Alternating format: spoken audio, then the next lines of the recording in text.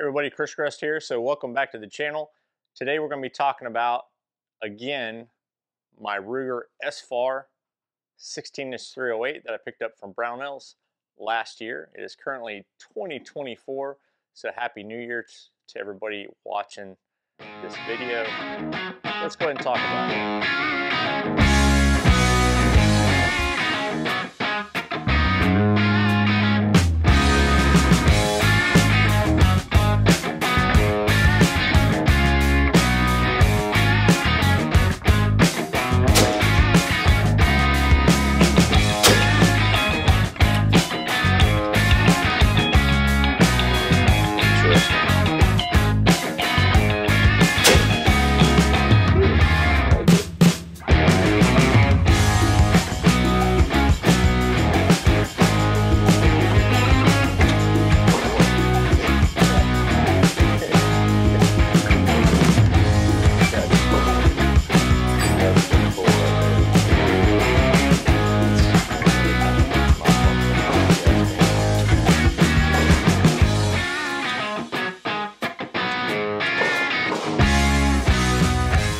Alright folks, so I have a lot to unpack in this video, so I'm to try to do this as quickly and as efficiently as I can. So a few weeks back I released a video showing me shooting my Ruger SFAR 308. I have around 200 or so rounds through it so far, and I was having a little bit of issues, first off with some gassing, which I've had that from the get-go, and they say that that kind of kind of works itself out over time, and it is kind of ammo dependent. So I wasn't so worried about that. But what I started having happen was Hmm, some failure to eject the shell and very weak ejection.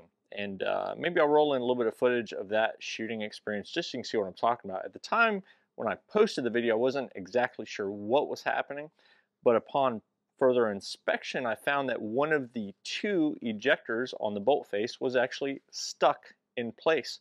So I went from having two ejectors to only one. So that totally explained the weak ejection as well as the cases getting stuck in the chamber, or not in the chamber, in the chamber area not being ejected out of the chamber and then jamming up the next round loading in from the magazine.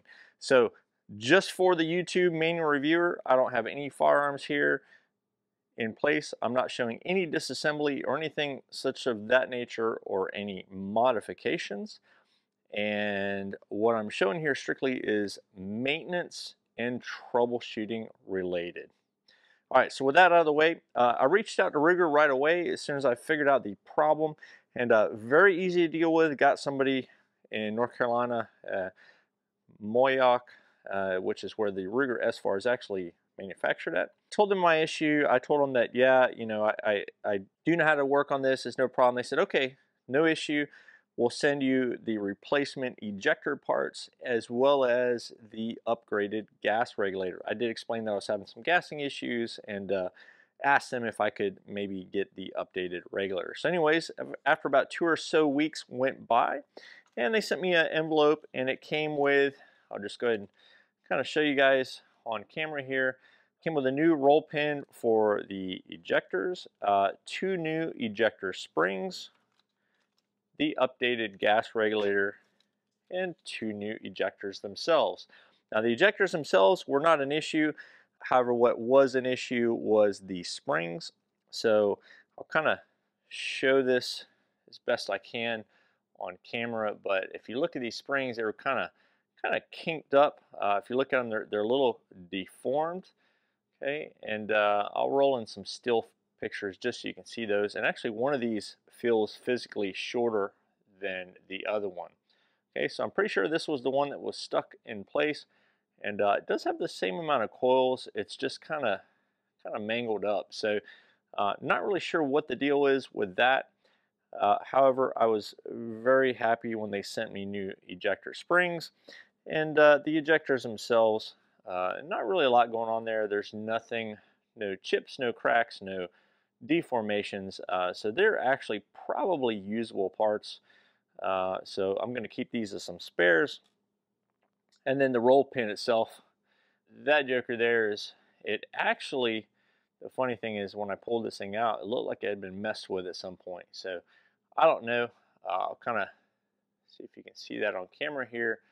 But um, it is uh, definitely seen some better days this roll pin. Again, got some new ejector parts, so I'm going to start off totally fresh with brand new parts in the bolt. They did tell me on the phone, they said that they could not send me a replacement bolt because these are fitted rifle by rifle, probably talking about the head spacing if I had to guess. But in any event, the bolt itself looks perfectly fine. The extractor looks good. Uh, extraction was not an issue, it was only the ejection. You can see the uh, dual ejector holes there. I will roll in some stills, of course, of that. So with that out of the way, let's take a look at the replacement gas regulator.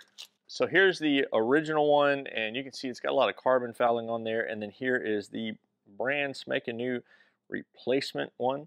And uh, so this has four gas settings. One of those is off, so it's really three usable settings. So you have holes for gas setting number one, you have holes for gas setting number two, and gas setting number two, from my understanding, is what they made the change with the gas regulator, so it is slightly larger, and I can physically see that uh, when comparing the two regulars. And again, I'll try to roll in some stills on that, and it looks like gas setting three, the port for that looks pretty much the same. So one of the things I also want to do with this uh, while I have it out is I'm actually going to uh, color fill in the numbers because they're a little hard to see through the rail setup that I'm currently using.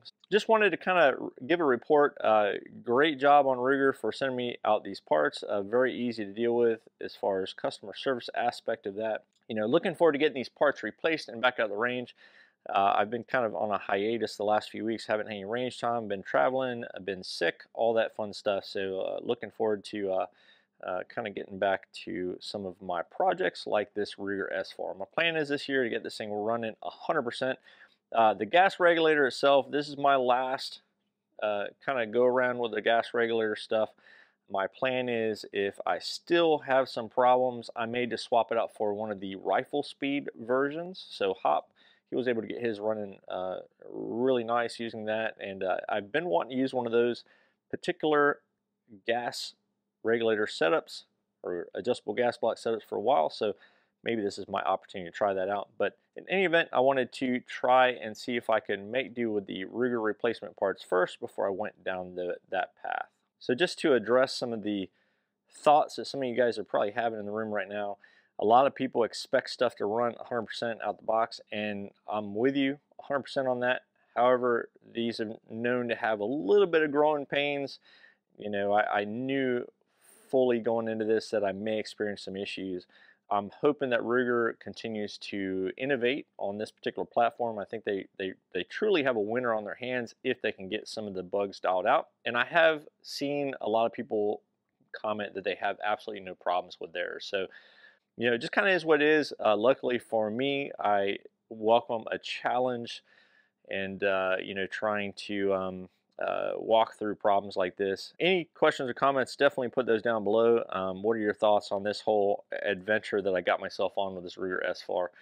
Uh, like I said, uh, awesome rifle so far, but uh, other than some of these headaches I've had, so uh, looking forward to, you know, I, I, again, I welcome the challenge and um, you know, really having a good time with this thing, even though I'm having having a little bit of trouble. So, but it definitely makes things mm. interesting. All right. I appreciate y'all watching today's update video on my Ruger SFAR that I picked up from Brownells. Definitely check those guys out and tell them I sent you. If you head over to my website, you can use my affiliate links and it does help out the channel, of course. More to come on the Ruger SFAR. My goal this year is to get this thing running 100%. I'm not quite ready to dump the Ruger gas block, but we'll see.